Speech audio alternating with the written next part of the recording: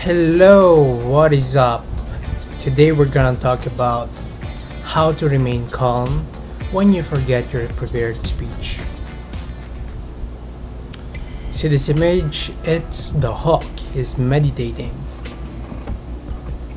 A wild person with a calm mind can make anything. As you can see, there's Incredible Hawk. He has a lot of strength, he has a lot of power, raw power. But he needs control. So that's why he's calming his mind to be able to control this power. Just remember that. Imagine that you are Incredible Hawk or She-Hulk if you're a female and the power is within your control. You just need to practice it. Why learn how to remain calm when you forget what you're saying? It's a, either it's a speech, it's talking to someone, or it's a pre-planned conversation and you need to say something to her or him. Why do you need to learn how to do this? Well, I'm gonna give you a couple of reasons why you need to learn this. But first of all, don't forget to subscribe, learn more tips and tricks to improve your communication skills. Yeah, hey! So reason number one. See this image? To be ready when it happens to you. You're just like a marine. You're a soldier. You must be prepared every time you're caught off guard. You need to prepare yourself. So I'm gonna give you a tip that you can use when this happens to you. It's gonna be one of the tips below. And just keep watching and stay tuned so you can use that technique so you're gonna be always be ready. Reason number two. See this yoga pose? Quite good, eh? Self-mastery. It's just like yoga. Uh, when you do yoga, I remember when I did some yoga, some poses were difficult. So for example, the loto pose or for example this pose, this is very difficult for me. I can do it a little bit, but I can do it I cannot do it perfectly. So it's the same thing. Your communication skills is just like yoga. It's a self-mastery. In the case of yoga, you're trying to master your body, your flexibility. In speeches, by learning how to be calm when you forget your speech, you're having self mastery. You're controlling your emotions. When they go wild, you control them. So it's part of self mastery. Reason number three is it's broken glass, right? To break your limiting beliefs. You may be thinking to yourself that you need a script, a teleprompter, or someone whispering you through a headset so you can say your speech perfectly.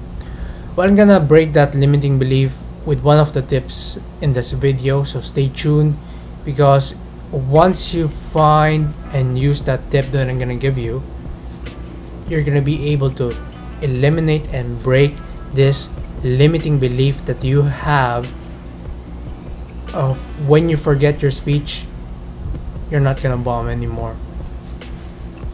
So stay tuned and we're gonna break that limiting belief that you have. Tip number one Embrace imperfection. You see these art pieces, uh, it's a metaphor.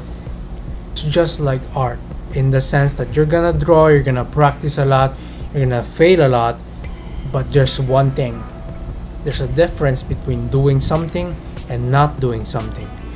By embracing imperfection, your own imperfection, you'll be able to move forward. So have this belief in mind that you are enough. Embrace those imperfections. You may not be able to recite the whole speech from scratch, from your prepared speech, but you'll be able to do one thing and that is to embrace imperfection because when you embrace imperfection you won't have the pressure of doing it perfect so remember this tip number one. Tip number dos.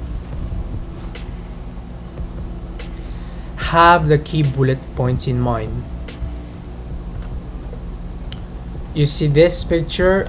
Well it's a metaphor. Wow.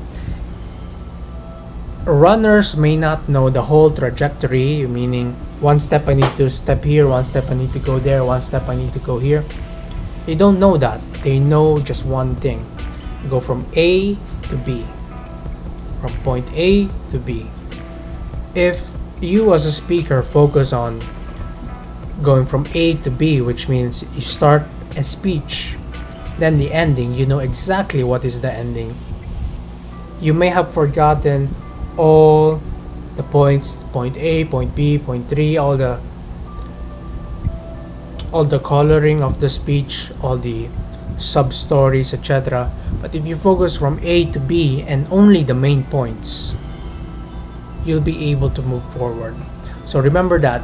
Have key bullet points in mind just like a runner. Go from a to b. Focus on that and you'll just keep on remembering the key bullet points. Don't need to remember every single speech, every single movement.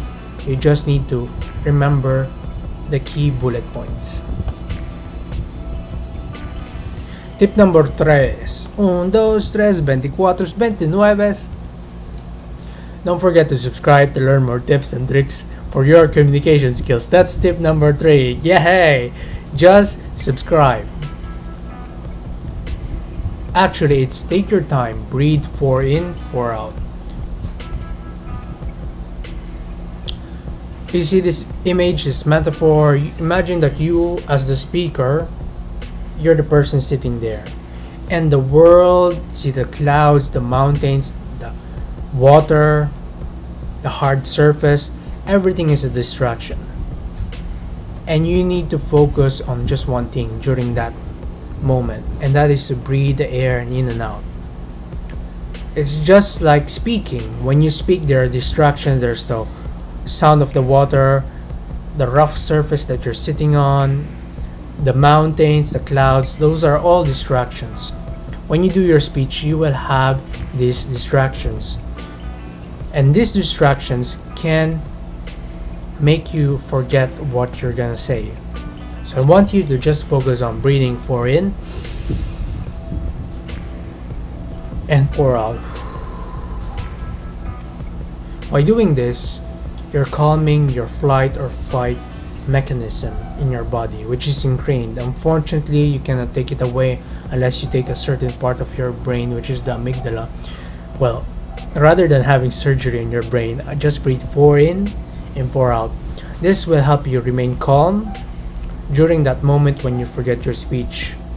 By doing this, you'll be able to remember the key bullet points and you'll remember to embrace imperfection. It doesn't need to be perfect. You just need to stay calm. And by doing this breathing exercise, you will stay calm when you forget your speech. So let's do a quick recap. Embrace imperfection, have the key bullet points in mind. Take your time and breathe four in and four out. So where do you go from here? You know the tips, you know the reasons. How can you do this practically? Here is a suggested protocol so you can ingrain yourself before you forget your speech on stage. I want you to focus on this suggested protocol that you can do before the speech or as a preparation when you make your speech. Either if it's talking to someone, remember it's not just making a public speaking speech, it's about talking to one on one, talking with your family, and talking with your friends. It applies, it has the same purpose. So, number one, practice four in and four out while doing an air squat. So, you're gonna do a squat don't need fancy equipment no no you just need to do some squats and while you're doing this practice on breathing in for 4 seconds and breathe out for 4 seconds and do it for a couple of reps. 10 ideally do this step for 10 times focusing on 4 when you go down 4 when you go out and focus on the breathing. By doing this you're programming yourself. You're priming yourself to stay calm and have a controlled breath even though the exercise might be difficult or might be easy but you will be able to control the breathing, which is the number one thing. Number two, imagine the worst case scenario and seeing yourself as a survivor. So this applies to principle number one, which is embracing imperfection, because you are visually seeing yourself and you're starting to feel yourself failing. But after failing, you see yourself surviving. You feel like, okay, I've survived. It doesn't really matter. So have that image in mind of seeing the worst case scenario and you surviving it. By doing this multiple times throughout the days, throughout the weeks, and throughout the months, you'll feel like a survivor. And survivors often have some wounds, some disabilities, but you as a survivor has survived. You're imperfect, but you have survived. So have that survivor mentality. Number three is start reading a paragraph and enunciating it one to key points. Another way to improve the protocol is yeah, start reading the paragraph. So you started reading the paragraph and you enunciate it well. After that, close the book or close the blog post, whatever you're using, and try to enunciate from memory one to key points. This will enforce in yourself to have the key bullet points in mind. Try this out, this is very effective. I've done this multiple times, so that's why I'm being able to speak on my feet during Toastmasters without even struggling. So in conclusion, no matter how you embrace imperfection, you have the key bullet points in mind, you take the time to breathe for in and for out, life will still make you forget things during your speech, during your conversations with people, and it is your choice if you're going to react by getting angry and frustrated or are you willing to put yourself pull yourself together and keep moving forward with your speech. The choice is yours, and always remember to make the right choice. Don't forget to subscribe to learn more tips and tricks to improve your communication skills. And always remember, your communication is within your control and power. Thank you for watching, and I'll see you in the next video, mate. Peace out.